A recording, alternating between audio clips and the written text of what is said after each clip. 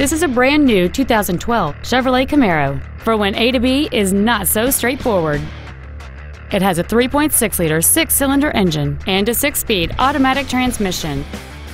Its top features include a low tire pressure indicator, traction control and stability control systems, aluminum wheels, and satellite radio.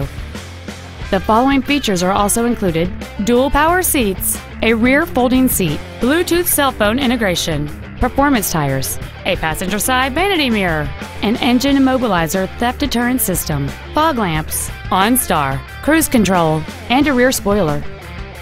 Contact us today to arrange your test drive.